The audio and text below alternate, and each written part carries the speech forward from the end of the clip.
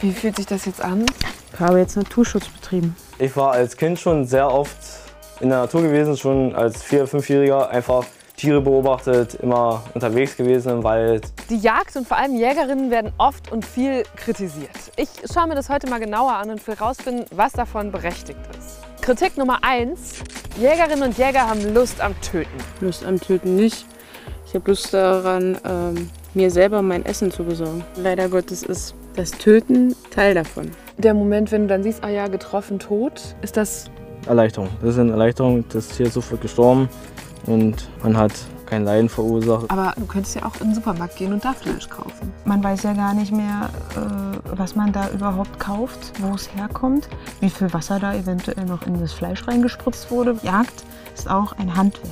Und es geht ja auch nicht nur um dieses Schießen. Wenn man dann wirklich so als Jäger äh, in den Wald geht, man achtet auf viel mehr. Man achtet auf den Boden, sind da Spuren, die Bäume werden ganz anders begutachtet. Und wenn man dann sitzt, von wegen ruhiger Wald ist da gar nicht. Also da ist richtig Action. Kritik Nummer 2. Jäger quälen Tiere. Wenn ich den Finger krumm mache an der Waffe, muss ich mir 1000 Prozent sicher sein, dass das Geschoss auch dahin geht, wo es hingehen soll, weil ich habe eine Verantwortung. Ich habe ein Handwerkszeug in der Hand, was unglaublich gefährlich ist. Es gibt eine Studie aus Hessen über Drückjagd, wonach zwei von drei Tieren, die da angeschossen wurden, gar nicht direkt tot waren. Das muss man einfach üben, weil wenn man das nicht übt, man ist aufgeregt, man ist nervös und dadurch kommen dann diese Statistiken zustande. Kritik Nummer drei. Die Treffsicherheit wird in den meisten Bundesländern, wenn man einmal einen Jagdschein gemacht hat, nie wieder kontrolliert. Super Schuss, zweimal sein. Der ist tot. Was würdest du fordern? Ein Schießnachweis. Das wäre eigentlich das Ideale. Damit auch wirklich im Wald alles glatt läuft, weil es gibt nichts Schlimmeres, als wenn die Waffe nicht funktioniert und das Tier eventuell dann noch krank geschossen wird. Ich appelliere an jeden Jäger, jedes Jahr mindestens ein, zweimal auf den Schießstand gehen. Kritik Nummer vier. Jägerinnen zerstören Familien- und Sozialstrukturen der Tiere. Und auf die kannst du aber jetzt nicht schießen? Nein.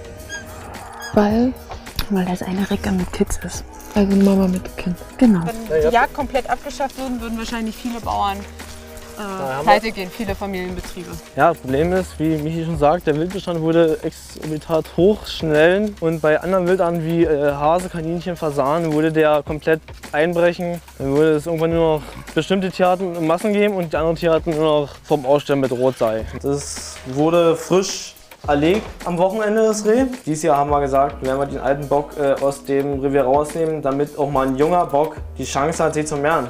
Weil sonst ist es ja irgendwann Inzucht, wenn ein Bock jedes Jahr äh, die ganzen Mädels, sag ich mal, bekommt. Aber ist das nicht auch Natur? Wolf Luchs. zum Beispiel, Luchs, Bär, die haben sich dann halt die Älteren geholt oder halt kranke Jüngere. Das Problem ist, diese Struktur haben wir nicht mehr, weil wir zu dicht besiedelt sind. Da müssen wir dann als Menschen dann halt eingreifen. Das heißt, du sagst, du bist als Jägerin eigentlich dafür da, wieder natürliche Verhältnisse herzustellen. Ja, da würden jetzt einige auf die Barrikaden gehen mit Sicherheit, die gegen die Jagd sind, aber im Summa summarum ist es genau das. Kritik Nummer 5. Jagd ist vor allem wirtschaftlich motiviert. Ich schieße so im Schnitt so 100 bis 150 Stück Schalenwild und dann noch mal das gleiche an Raubwild und Nutrias. Wie viel verdienst du daran? Wenn man das umrechnet, gar nichts. Wir machen es ja nicht gewerblich, das ist ja unsere Passion. Wir verkaufen ja das, was wir nicht verwerten selber. Das Problem ist, die jungen Leute wollen lieber mehr Fertigzeug haben, also das heißt Bratwurst, Wiener, Bockwurst und äh, Wo man das nicht mehr Salami. erkennt, dass es mal so Ja. ein Tier war. Zu sagen, ey, das hab ich erlegt, da kann man dann schon ein bisschen stolz auf einen sein.